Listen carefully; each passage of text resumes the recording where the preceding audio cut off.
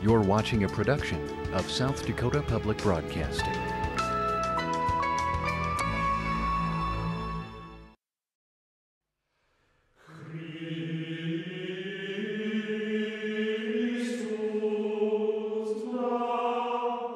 I think that uh, stained glass, both in a sacred space or in a secular place, uh, does exactly what it's supposed to do.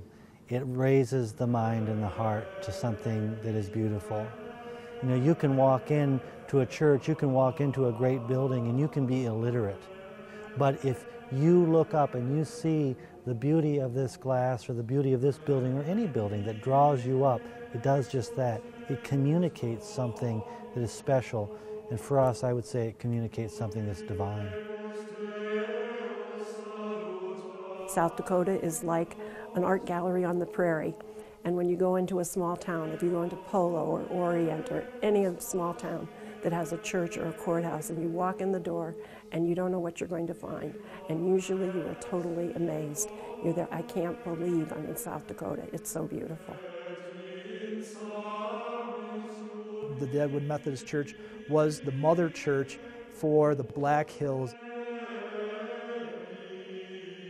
Just sit and meditate in the calm and the quiet and in the beauty of the place that those windows create.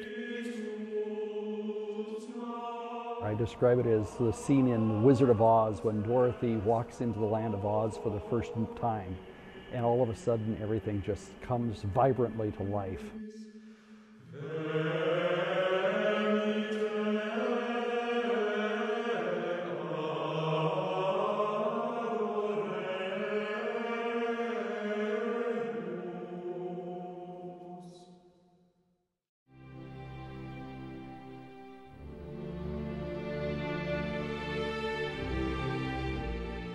South Dakota has thousands of places that have stained glass churches, government buildings, homes, and more.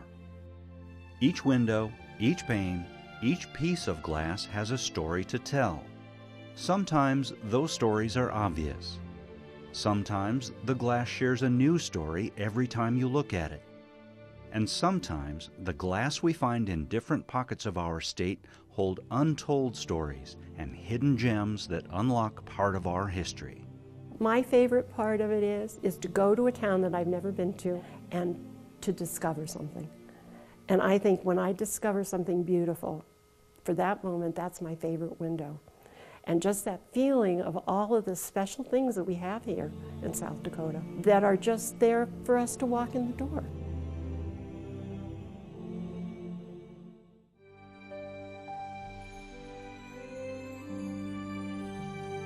The church itself is 150 years old. We've had a, very difficult time finding out records, except what's printed on them. I think a lot of the windows were memorials from different families. The three at the front behind the altar were given by the Newton Edmunds family. He was a second territorial governor of the territory. The two windows on either side of the central window are in memory of four of his children. So they lost four children during the time they lived here. Um, they did have three children that survived and lived after that. The majority of these tall, slender windows found in the Christ Episcopal Church in Yankton, South Dakota, were created for a purpose or in memory of someone. Other windows were originally just placeholders. Such windows are called grisaille windows. They often have a design like a diamond in the center, with a colored glass border, with the intent of being replaced with a more meaningful window at a later date. So those were really kind of in, intended as a temporary window until someone wanted to, had the money to do something with them. They probably are the most rare in the building. We have one here with a lady, looks like she's leaning against the rocks. And several people say the Rock of Ages immediately when they look at it. We have two windows that we call our Irish windows, and there was a Celtic interest, in the, they say in the late 1880s. All but a few of the 25 windows date from more than 120 years ago. Their age and their diversity contribute to their value but they are not our state's oldest known windows. Those are also thought to be from the southeastern part of our state, but have yet to be found. There's a, a, piece of glass from the 1870s over in Groton in the Episcopalian Church. And there's the, the Fort Randall, and that glass is no longer there. Um, but I think that might have been one of the first places. It was an Indian fort, I think that, and they had a chapel, and the records show that there was stained glass in that chapel. That's the oldest so far, but I'm still looking. Unfortunately, back in the late 1800s, early 1900s, historical documentation was not a priority, you know, in that lifestyle. Um, and so, you know, a lot of it is by who remembers what or that type of thing. Sometimes they have, in some old archives, they'll have, well, we paid this much for them or we got them at this date. But, you know, it's, it's all more word of mouth, more oral understanding and talking about them than it is actually documentation.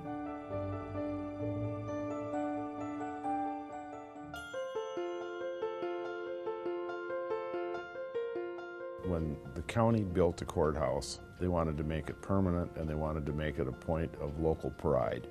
And uh, while not all the courthouses have stained glass in them, several of them do, and they are gorgeous. And because they're public buildings, they've been kept up, uh, not abused.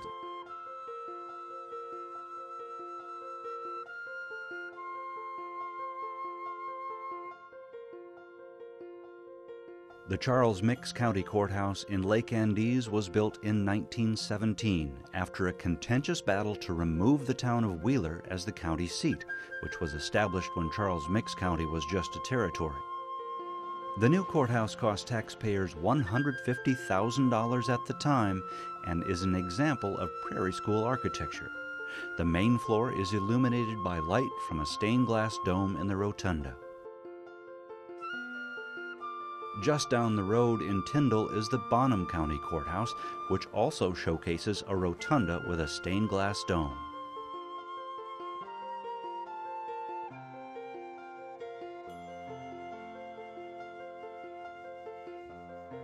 I think everybody in this state is somehow moved by stained glass.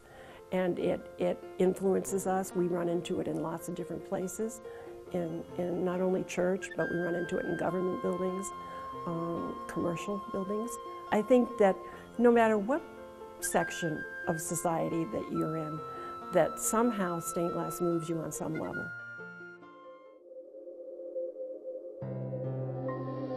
It's actually as old as the earth because stained glass occurs naturally when lightning strikes sand. And lightning heats up sand and it makes little glass beads. They're usually not very pretty colors because the, the oxide is sort of random. But the process of making stained glass is heating up sand and adding a metallic oxide. I think 1050 AD is the first time that it was used in a, in a, in a put together in a, in a building. But glass, stained glass is as old as the earth. From the beginning, stained glass was pretty much put together with lead. They would solder it together. And then as, as time went on, they developed these pieces of lead that are sort of straight. They're called cames. And, and they would fit the glass into it and then solder over it. Fusing is really the earliest form of glass in the history of man. Fusing was done, the first fusing is documented back to, to 1500 BCE. And fusing is just taking two or more layers of glass and, and heating it up so it bonds. So fused glass was, was in existence long, long, long before stained glass. Stained glass is, is I always call it a time-honored craft, and it really hasn't changed that much in its early history of glass, stained glass was, was very liturgical. Um, in fact, that's, that's why stained glass was somewhat developed was because in the Middle Ages the people were illiterate and couldn't read or have things to read. And so in order to tell the stories, the biblical stories, the theological stories, they developed the concept of stained glass windows in the cathedrals so that the people would have visual ways to understand what, what religion was all about.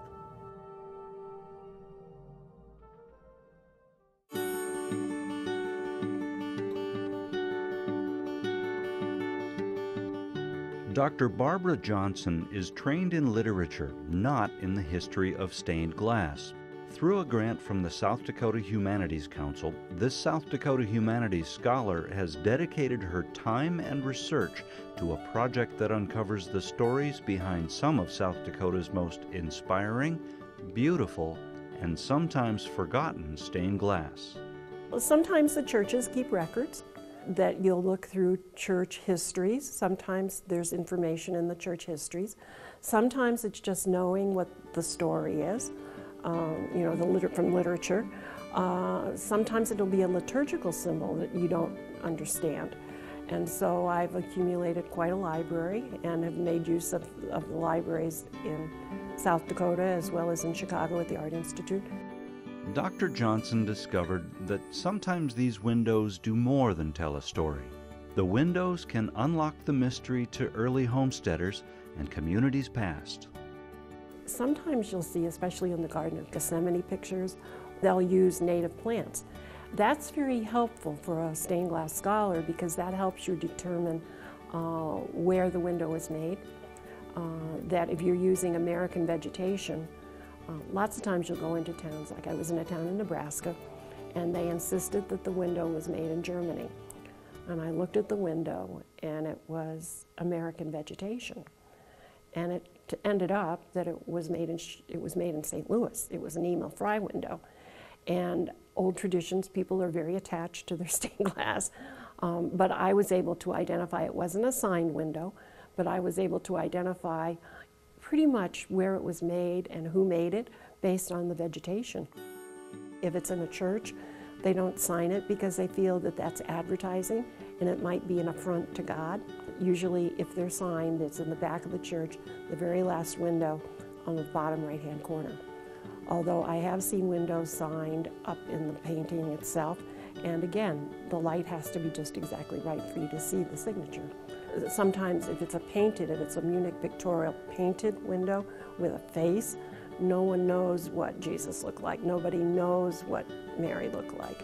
Nobody knows what St. John looked like, so, or nobody knows what the face of an angel looks like. And so the stained glass people who make them are usually German artisans. Um, they will use the, the, the image of their wife, their mother, their father, their child. And so they'll personalize the windows that way. And unfortunately, a lot of these stories, unless you, you know, you know who's made them, those stories are being lost because they don't write them down. The Tiffany Revolution so much of the stained glass before that was all liturgical. So everything was figurative, everything was spiritual, everything was symbols and, and saints and icons and that type of thing. As the wealth changed and, and stained glass became more affordable, then it started going out more into the residential and commercial market.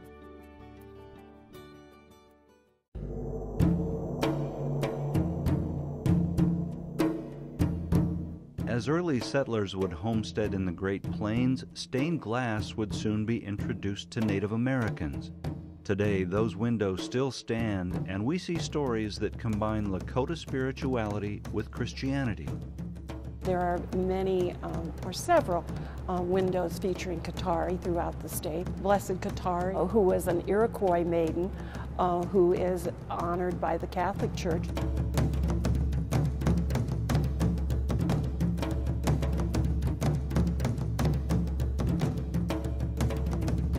out on Pine Ridge at the Red Cloud Indian School, where the windows were designed by the students at the Indian School, and they represent the, the seven campfires of the Lakota Nation.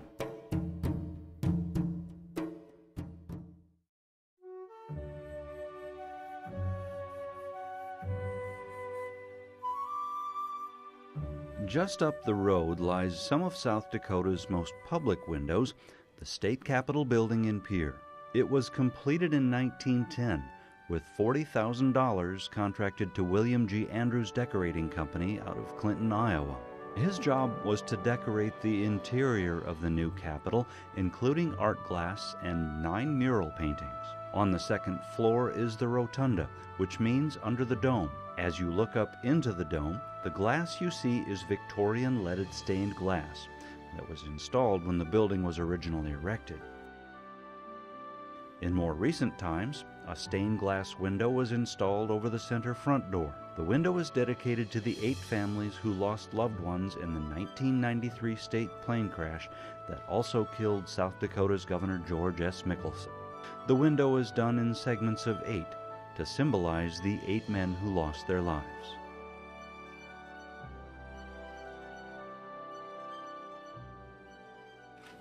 I, um, I come to work early and oftentimes I'm the only one in the building, yet the place is all lit up and ready to go and you, you can just simply walk around and still after 17 years of working in this building be totally in awe of the beauty of this stained glass and then thinking of the workmanship it must have taken at the time the Capitol was built around 1908 or 1910 that they could construct something of this beauty and uh, in the ceilings and, the very difficult places.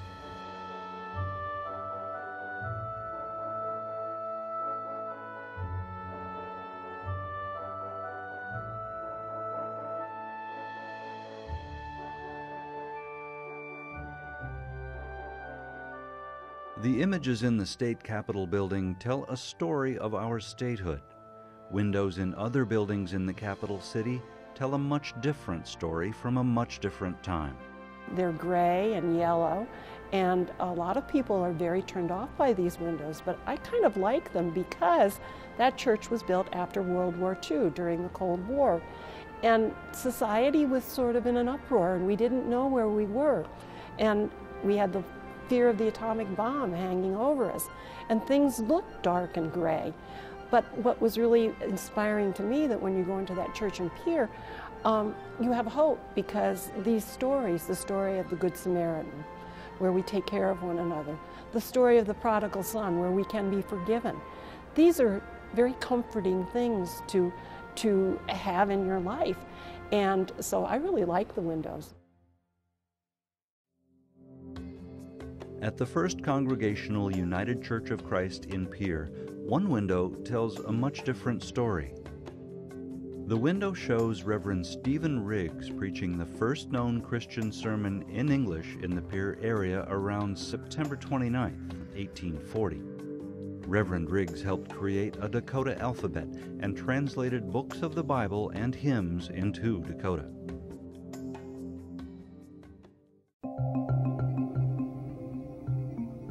Sometimes the window story is easy to read, and other times the color of the glass is all that's needed to determine the importance of that piece of art. I describe it really as the stained glass windows is really the Western culture's interpretation of the icon that is most familiar with the Orthodox churches. These are truly holy cards that are put in front of everybody to give them a reflection of what it is to be in heaven. Every color has its meaning and has its significance. There are rules of iconography. Certain colors can only be used for certain uh, personages. And this cobalt blue in all these windows are only for the Blessed Virgin Mary. It's only for the Mother of God. So the moment that you see that color, you know immediately you're looking at Mary. And also you see the other colors as well. For example, uh, Jesus is often depicted in white, representing purity. You see Joseph uh, dressed in brown and purple, one who is the worker, who is always trying to protect and to take care and to nurture, and to also see that, that he was the adopted father of Jesus. And of course, then you have the halos, for instance, and the, these halos are reserved for the saints, that these are holy personages. In order to get colors in stained glass, you put different metallic oxides. So if you want red stained glass, you put in gold, and that's very expensive. Red stained glass is probably the most expensive that there is. If you want blue, you put in cobalt. If you want green, you put in copper. Now the trick comes that there's secret recipes for the different colors. They might put in a secret ingredient that maybe the recipes were passed down from generations, so father told his son what the secret recipe was. Well, some of these secret recipes were lost because they didn't pass them down. Sometimes denominations don't have picture windows. Uh, and there's a theological reason for that. If you go into a lot of congregational churches, uh, that was the, the um, descendant of the Puritan Church in New England. Congregational churches usually don't have colored pictured windows. If they have windows that are they're not clear glass, they're just uh, geometric, uh, colored glass but geometric. Uh, the same with Baptist, um, which is an offshoot of the Congregational Church. Um, and then sometimes early Lutheran churches don't have picture windows because they think that they are graven images. When light passes through glass, it comes in as a single ray, but when it exits the glass, it's fragmented. And it's fragmented by the colors that are on the glass. The light that does not pass through is trapped in the glass. So that the darker the color of the glass, the hotter that glass gets. Flat stained glass is made from glass cylinders that are melted and then flattened. Black Hills glassblowers Peter Hopkins and Gail Damon of Keystone don't create flat stained glass per se, but rather the art of blown glass. However, the procedure in which an artist creates color for the glass is the same. Yellow has cadmium in it, and that's what makes yellow. They're basic earth minerals. Uh, some of the reds are made with selenium. Blue, I don't know about this particular blue, but a lot of the blue has cobalt. The darker blue is definitely cobalt. You know, if you're using the pink ruby colors, it has actual gold in the formula. So the minerals do affect the price of the colored product that we use. So we either break off chunks of bar or roll in colored chips of glass.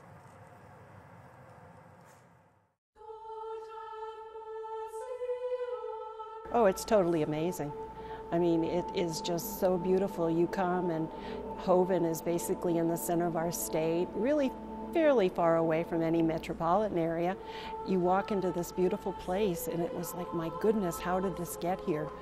You feel like you're far away in Europe or, or in some major metropolitan area. And the fact that this church is here is such a credit to the people who invested their hard work and money into bringing it here and maintaining it. They are what are called Munich pictorial style.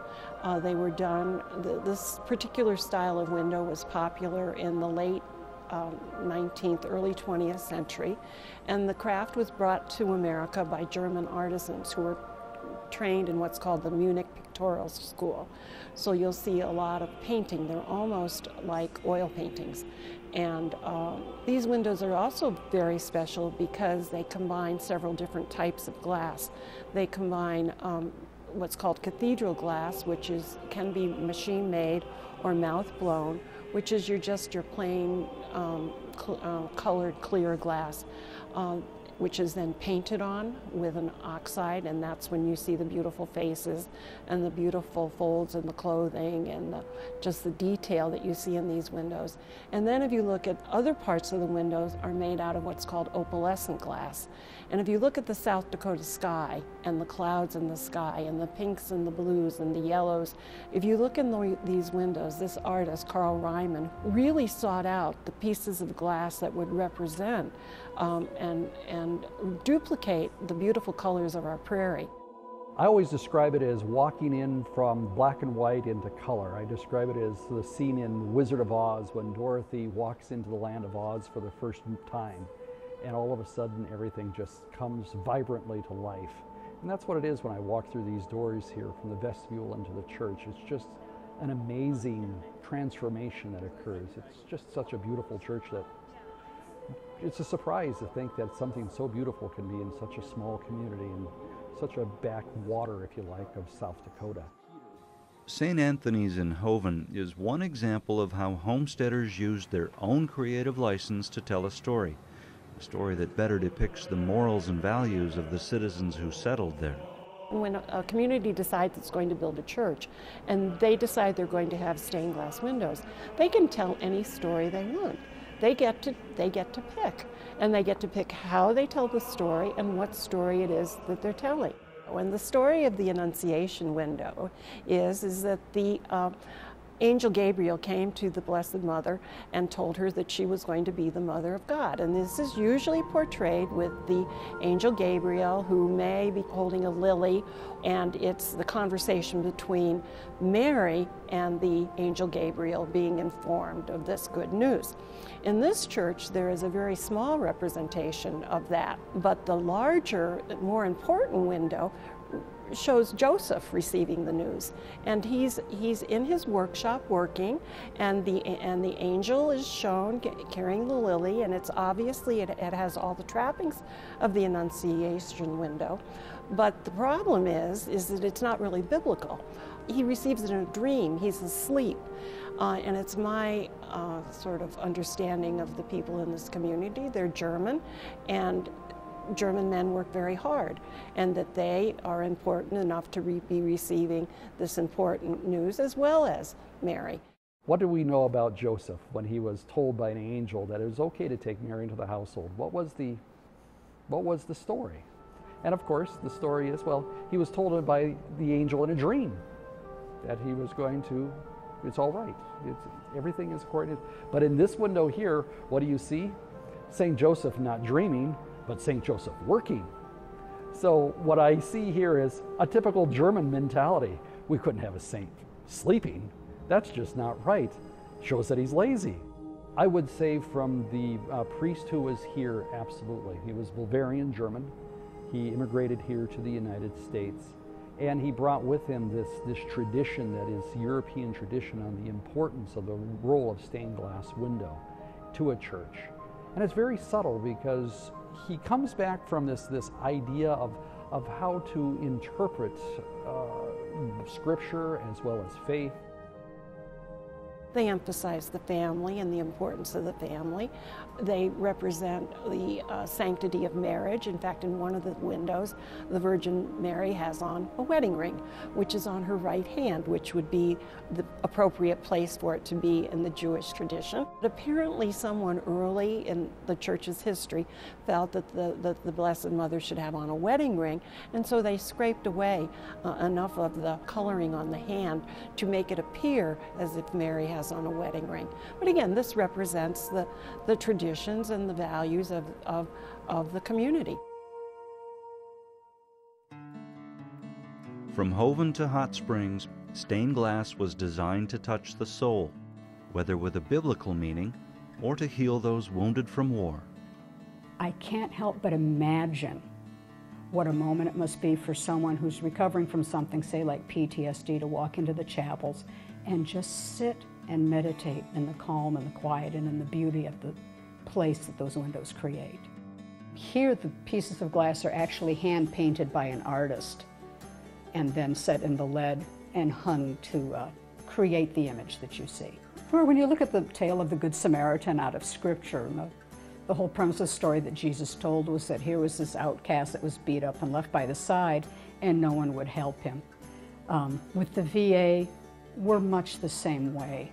We open our doors to care for anyone who's a veteran who has served this country who's in need, regardless of race, creed, color, nationality, whether they're Native American, Mexican, black, white, pink with purple polka dots. We're here to care for the veteran. For years, Hot Springs has used its stained glass windows to show its gratitude and dedication to helping American veterans. St. Luke's Episcopal Church had its beginning in 1896 with the building that stands today erected in 1902. Some of the windows are gifts, one from the Grand Army of the Republic, a Civil War veterans group.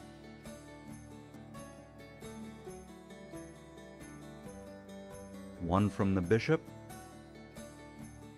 and another from tourists who once visited Hot Springs. Since you're looking at the windows in Hot Springs as a whole, I don't think you can separate the two. The, chapels here have reached out and touched veterans for over a hundred years. And the community has done the same with the churches and, the, and, and what they offer as well. When you have over 100 years of caring for veterans, it's important to include.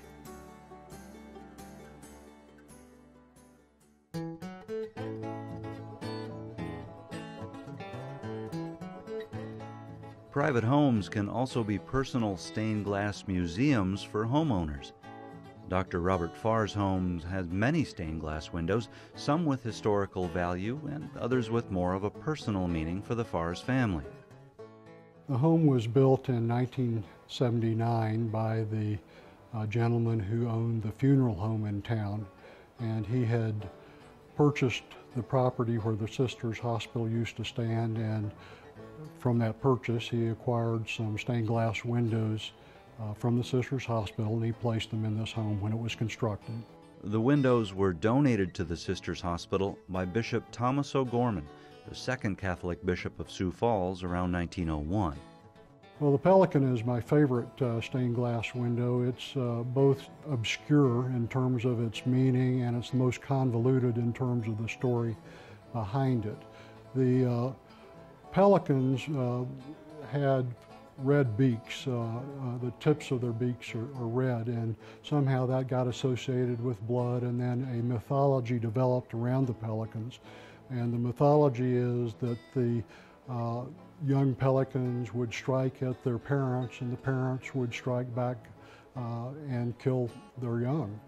And according to the story, after three days, the mother pelican would pierce her uh, chest or her side and she would uh, bleed and that blood would revive the young pelican. So it's both a story of uh, resurrection but also of atonement, the idea being that it is similar to what Christ did. He allowed himself to be pierced so that we could have everlasting life. The beehive and the bees are supposed to be symbols of chastity and purity, and that uh, emanated from the fact that the worker bees do not mate. Uh, bees also appear to uh, die in the winter and reappear in the summer, so they're also uh, considered a sign of rebirth. One home may hold many windows full of worldly meanings, while another home may have just one window that means the world. St. Anthony's Catholic Church was going to be torn down to build a new modern one. So they were getting rid of all the things that were in the church. And my husband owned a barber shop downtown that needed a uh, air conditioner. So he talked to the priest and said, when you get ready to sell that air conditioner, I would like to buy it. And it was in the front of the church at the same area as this window was. And uh, so the priest said, okay, but you'll have to take the window too. So he said, well, okay, but we had no place to put it really at mm -hmm. that time. We put it in our root cellar where we kept um, potatoes and things like that and absolutely forgot about it really until we built this house. And we were partly finished when I went to move my jars and canned goods. And I went in there and started packing those. I saw the window. What a beautiful window. So I rushed to my husband and said, we need to put that window in the new house. Today, when Mrs. Inman looks at her window, she remembers her late husband and this beautiful home they built together.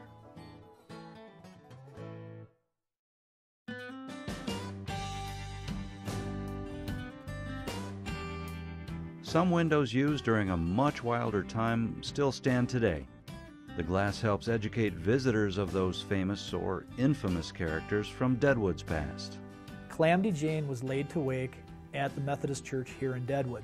The stained glass windows that were in the church, and more particular the stained glass window that's up at the Mount Moriah Visitor Center, was one of the windows that were in the sanctuary at the time that she was laid to wake. So what's interesting is, is we have Calamity Jane buried in Mount Moriah, and we also have one of the windows where she was laid to wake as well.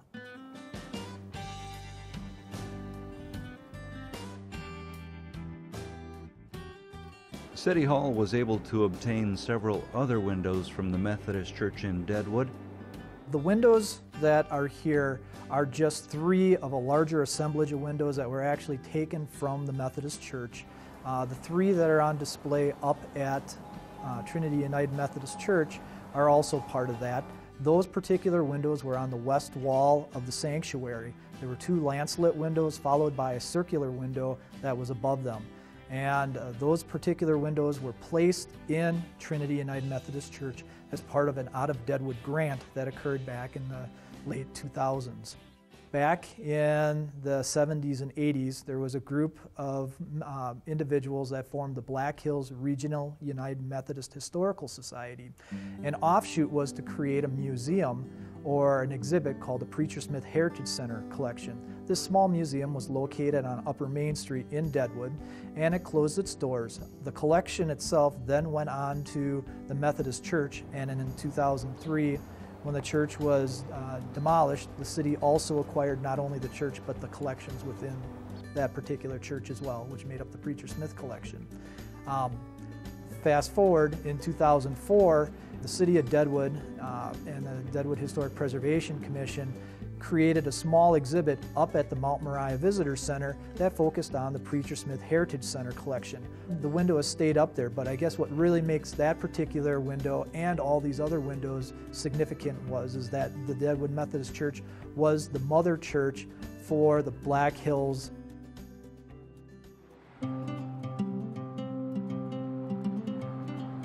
where the Miss Kitty's is now was built in the 1897, I think, if I remember right.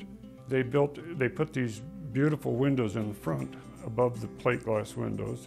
I was eating lunch one day down there the, across the street and I saw a man with a ladder up against him. And I didn't know what they were uh, because they were all painted. The outside of them had all been painted and the inside had been painted too. They painted the whole thing, which actually was kind of good. It saved the lead from just rotting away. So anyway, I talked to the owners at the time who were the Eagles Club and uh, told them that I would take those out and restore them for them and put them back in if they would just pay for the materials, which was basically framing and paint remover and things like that. Lynn Naminga is a local historian helping restore some of Deadwood's history. But in his own home is a museum full of beautiful glass with its own historical significance, some from the area and others transplanted here by Naminga. House was built in 1892 by a man named Stern, who was an attorney and businessman here in Deadwood. This window I found in Des Moines, Iowa, in the first governor's home, was built in the 1880s. He was the first governor of Iowa.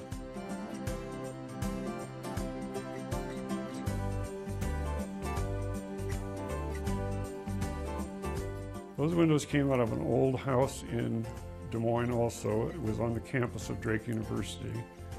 And it had also been cut up into apartments. And these windows were in, in an alley. You couldn't see them. And a friend of mine was driving a taxi cab, drove in there and saw them one night. And he told me about them, so I asked the owner if I could buy them from him, and he did sell them to me. They would date from the 1880s, I'm guessing. Just across the street sits another house dating back to the late 1880s. It's known as the Floyd home.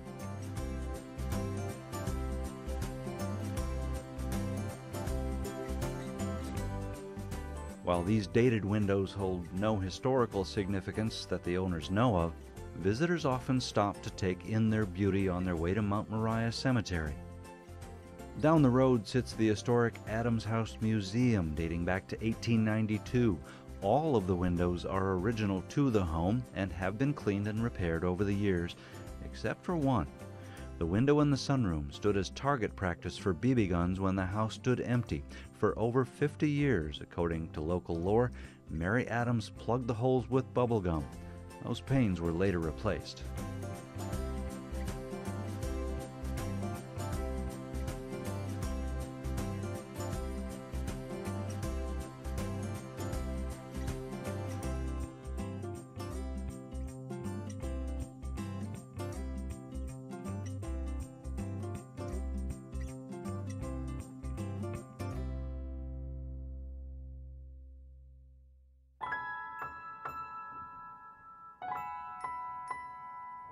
It's really necessary to, to protect these windows in some ways.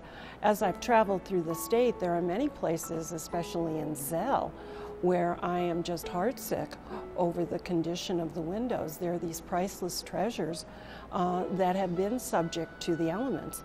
And it's very, unfortunately, it's very expensive. And as people are uh, leaving the rural areas and these rural congregations are declining and being, being closed and merged with others, these, these windows are sort of sitting out here on the prairie, and it takes some uh, forethought and planning on what's going to happen to basically the treasures of our state. To give you an idea of kind of where the frustration is, but at the same time, the, how would you say, the hope, is here is St. Anthony's Parish. I'm an accountant before I became a priest. So the very first question I asked uh, is uh, from the insurance company is, how much would it cost to replace St. Anthony's Parish? And as of, oh, about a week ago when the adjuster came in, he said, about $4 million. And by the way, I'd never be able to replace the stained glass window. I could build a church, but the stained glass window would be lost forever. Some of the tragedy about stained glass in South Dakota is there's some beautiful stained glass that is it just in drastic need of restoration to come back to its beauty and there's just not money.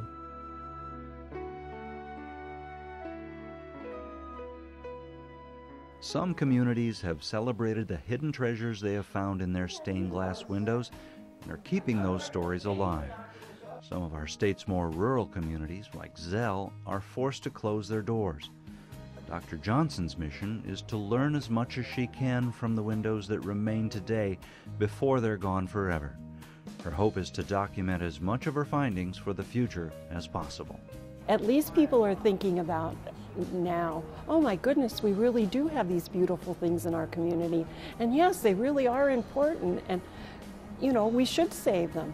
I, I think the next step is really planning on how to achieve the financial resources that are necessary to do such a project and to decide what it is that you want to save. And there may be some windows that maybe aren't so important, that maybe they're not going to be saved. That's why I think my project is really important because I've tried to identify the windows throughout the state that have cultural or historic significance for our population and that attention needs to be drawn to them so that there's some plan on how to make sure that we are able to enjoy these for a very long time to come.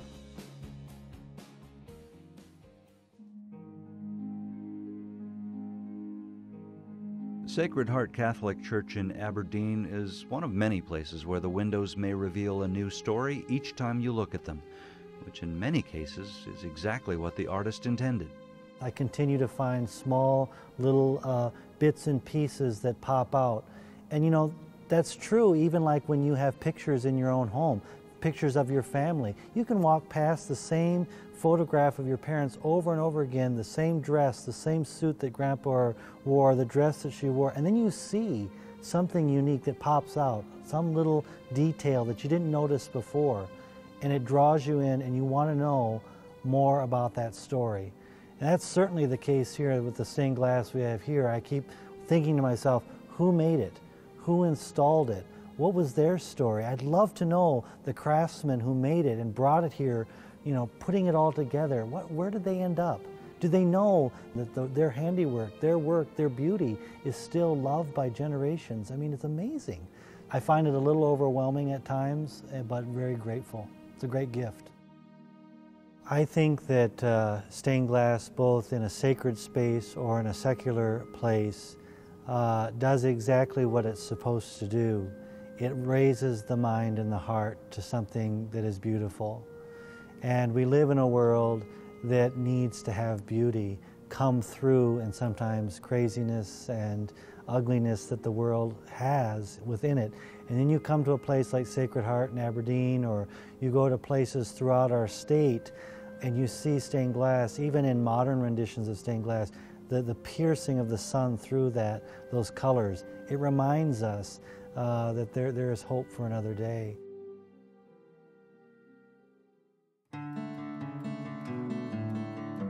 Further east in Sisseton is one church that holds the windows from one of South Dakota's most honorable sons. Chief Justice David Gilbertson explains. My father was a minister, and so I spent a lot of time in churches that had stained glass. In fact, uh, the church that he built when I was growing up, the whole front wall is colored glass, but because it's a contemporary design, it doesn't have the patterns that older stained glass has. The uh, one window that is set in the wall, uh, I acquired from an antique dealer in Sisseton. And to me, it was very representative of what you would have seen in a church probably around the turn of the century. It was put in there, one, to honor my father's contribution of being the minister at the time the church was built, but also to remind the members that come into that area of the uh, heritage they have and uh, the contributions of their uh, parents, grandparents, and great grandparents, and probably establishing and keeping the church going. Nestled in the rolling hills south of Sisseton in Marvin sits Blue Cloud Abbey. It was founded in 1950 by St. Meinrad Archabbey in Indiana to take over the community's commitment to the Native American people of the two Dakotas. The giant windows showcase the work and mission of the Benedictine monks who called the abbey home. The Blue Cloud Abbey closed its doors in 2012.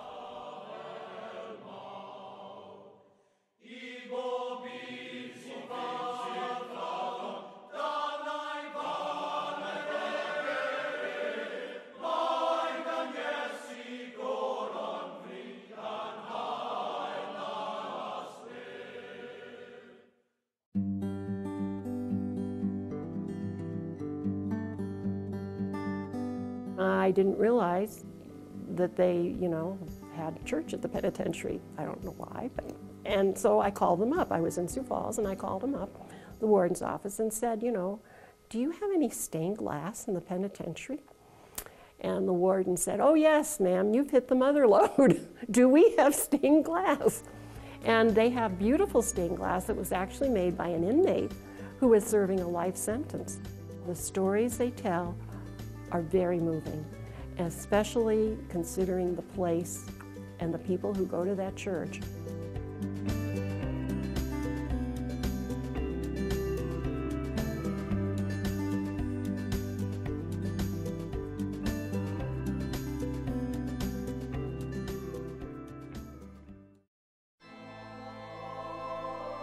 South Dakota's biggest city, Sioux Falls, has endless opportunities to see stained glass, including the only documented pieces created by glassmaker Louis Comfort Tiffany. There's the Tiffany windows at, at the chapel at Touchmark at All Saints. Those are just very nice windows.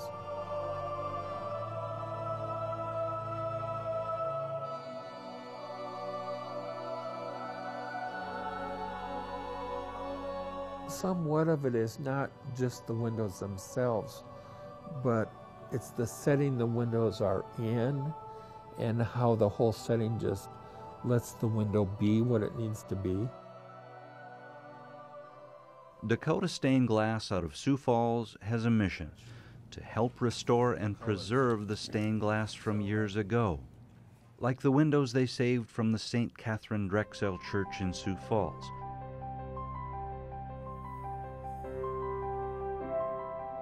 the biggest projects that, that I'm most proud of is the St. Katharine Drexel windows. Um, just because it's the first time we've ever done anything that intricate and that complicated um, on that scale.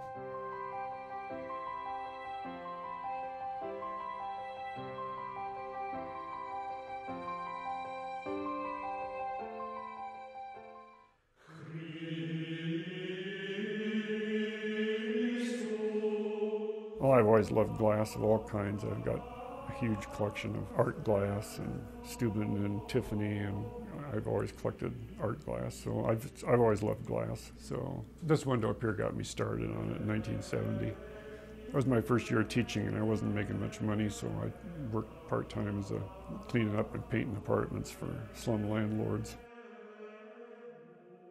My favorite part of it is, is to go to a town that I've never been to, and there's a lot in South Dakota that I haven't gone to yet, to go into a town and to discover something. And I think when I discover something beautiful, for that moment, that's my favorite window. And just that feeling of all of the special things that we have here in South Dakota that are just there for us to walk in the door.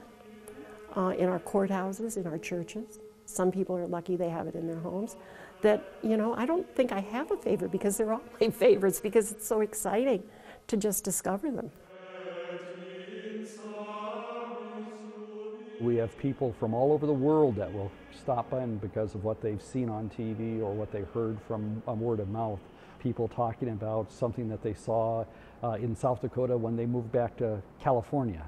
And so they make it their, their mission to go see uh, Mount Rushmore, Hoven, and then the cathedral in Sioux Falls. So it's, it's very interesting the, the, the number of uh, tours and tourists that we have that come through to look at this beautiful church. One thing about Hoven, the, the people in this community, by their heritage and by their love for their church, they sacrificed that we could have what we have right now. But the bad news is that anything ever happened to the stained glass itself, I don't know how I would replace it. The one thing that, uh, again, we're trying to do right now as we celebrate our 125th anniversary is to preserve these windows, as you have just said. And the way that we're going to do that is by uh, photographing them at different uh, uh, parts of the day so we can get the, the best reflection of these windows. That's what stained glass does. That's what good architecture does. It raises the mind and heart uh, to the things that are, that are above. And sometimes when we're kind of down in the world and it's dark and it's ugly, we need, we need situations where, where there's beauty. And stained glass offers that.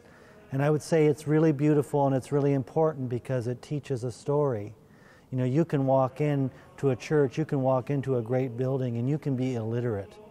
But if you look up and you see the beauty of this glass or the beauty of this building or any building that draws you up, it does just that. It communicates something that is special. And for us, I would say it communicates something that's divine.